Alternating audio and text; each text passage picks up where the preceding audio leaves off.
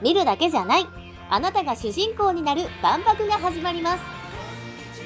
この番組は2025年に開催される大阪・関西万博の情報はもちろん各地で行われているさまざまな取り組みをご紹介し万博を盛り上げ楽しもうという番組です。その名もチームエキスポ2025プログラム大阪・関西から未来へのアクション。この番組はご覧のスポンサーの提供でお送りします。今回は前回に引き続き大阪・関西万博でサイエンスが出展する未来人間洗濯機の最新技術や開発秘話をご紹介。さらにサイエンスが実験中の新たな取り組みも教えてもらいます。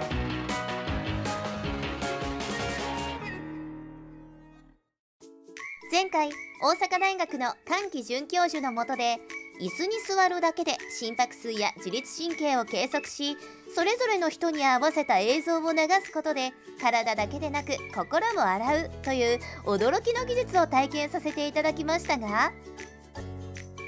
サイエンスのショールームには実際にどのように映像が映し出されるのかがわかる実験機があるとのことで見せていただきました。これちょっと気になってたんですけど、はい。何ですか？これはね先ほど言ったようにあの上は全部透明のドーム状になるって言ってました、でその中に実は映像が360度これ全部画像で映像になるんですが。360度なんや。そうです。だからそれの今あの映像を映す調整のちょっと実験やってるだけの話。です、はいはい。ちょっと今映るかな？ちょっと電気消してもらえますか？あこういうふうに。ああ映ってる。はい。あ映ってます。クジララが。クジラ君が出ましたけれども、外側からも全く同じ中の方と同じように映像が見れるんです。あ来た来た来た来た来た来た来た、中からも見えるし外側からも見えるんですね。ほんまや、はい、クジラが泳いできた。こんな綺麗に映るんですね。あのこんなレベルじゃないですよ。もっとすごこれはもう今映像の調整の実験やってるだけなんで、はい。最新技術を駆使した未来人間洗濯機その開発秘話を青山会長に伺いましたそもそもはいの未来人間洗濯機を、はいまあ作るってなったきっかけって何なんですか、はい。あのー実は前の54年前の70年万博、私小学校4年生だったんですね。あそうなんですね、はい、いやもうそれが僕の人生変えたみたいなもんで、はい。あの時はアメリカ間の月の石か山陽間の人間洗濯機だと言われて何やその人間洗濯機、うん。実はあの頃いうのはご自宅お家にお風呂がある家なんかほとんどない時代。そういう時代に山陽間入ったらこんな卵型のね、人間洗濯機うん、なんやねんそれと。ワクワクしますよねいやもうワクワクするどころか未来ってどうなるんやろうっていうぐらいもう頭にずーっ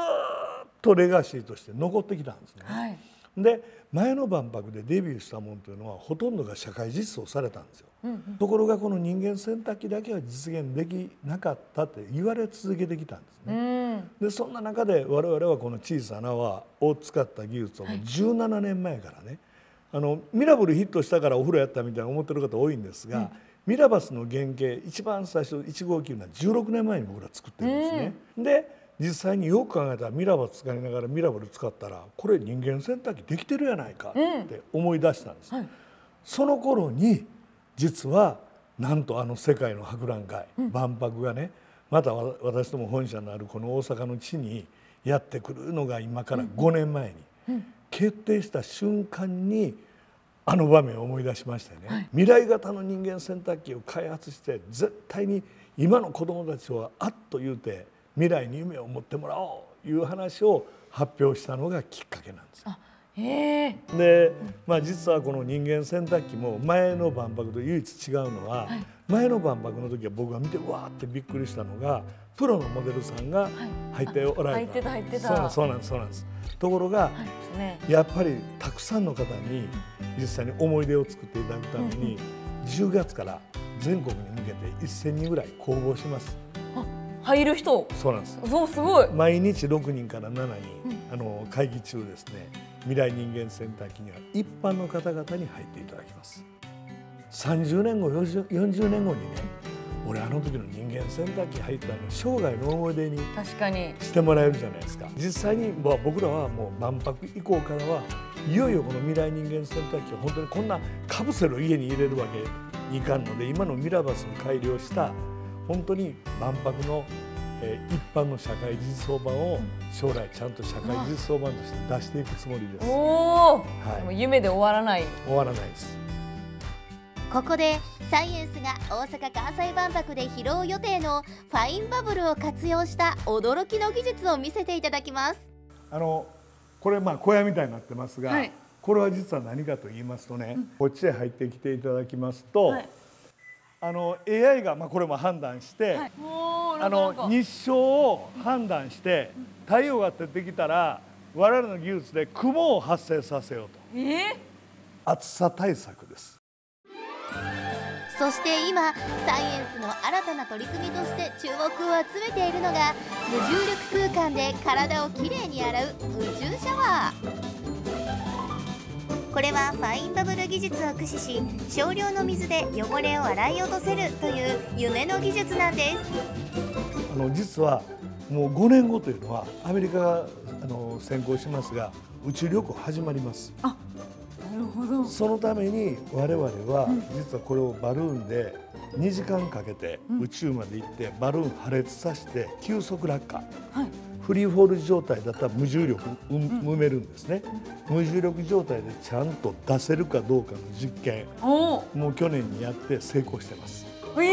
成功したんですか、はい。えすごい。無重力の状態の中でこの立位型で、えー実際に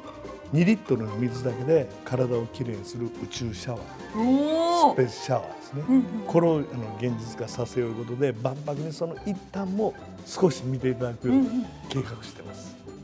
僕はやっぱりその50数年前の万博がね、えー頭の中に本当にもう残ってて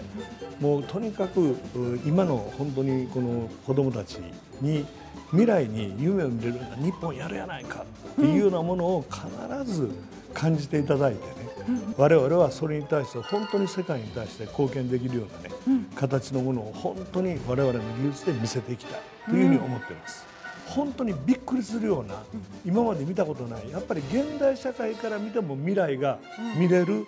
しかも日本が本当の技術大国なんだというのを世界に発信する最後のステージだと僕は思ってます。ここからは大阪・関西万博に関するニュースコーナー。7月17日2025年日本国際博覧会協会は大阪・関西万博で出展する未来の都市をテーマにしたパビリオンの概要を発表しました。フューチャーライフ万博未来の都市は施設面積4800平方メートルの広さを誇る博覧会会場の中でも大規模な施設に。内容は博覧会協会と協賛する12社の競争による15のアトラクションが用意されさまざまな未来体験ができる展示となっています。発表会では未来の都市プロジェクトのクリエイティブディレクター古見修一氏からパビリオンの魅力についての説明がありました。万博らしくやはり訴求するストーリーをちゃんと作らなければいけないな。そしてそのためにはどうしても新しい空間開発のが必要であろうというふうに思いました。展示は来場者が歩きながら生命の誕生から現在に至るまでを高さ5メートル長さ92メートルのカービングビジョンで紹介。大阪・関西万博以降の未来都市をイメージした最新の医療や交通手段に支えられた人々の暮らし。さまざまな環境などの問題を乗り越え作り出された新しい世界を見せる内容となっています。そしてこちら。歩くと突然 3D 空間が登場するエリアでは未来の交通や医療エンタメなどこんな暮らしに変わるを想像することができます。さらに未来の都市を散策するエリアでは環境エネルギー交通モビリティ人々の暮らしなどを見ることができます。これ万博のコンセプトが未来社会の実験場。というのがあります。でそれを、まあ、あの一番象徴的に表す展示がこの未来の都市になります。今回のこのパビリオンは本当にいろんな業種からいろんな企業さんが参加してくれています。それが単なる展示会で終わるのではなくて一つのストーリーをみんなで共有しながら体験を作り上げていくというところはミソかなと思います。続いては話題のコラボ商品をご紹介。現在2025大阪・関西万博オフィシャルオンラインストアでは大阪・関西万博のスペシャルサポーターを務めるハローキティやその他サンリオキャラクターズとのコラボ商品を販売中。オフィシャルオンラインストアだけでなく大阪・関西万博オフィシャルストアの一部店舗そしてサンリオショップの一部店舗で絶賛販売中ですので詳しくは2025大阪・関西万博オフィシャルオンラインストアをご覧ください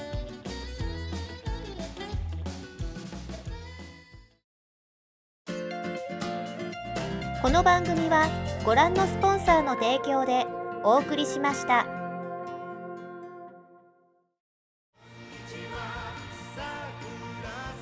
次回は開幕まであと半年。準備が着々と進む万博会場に潜入します。お楽しみに。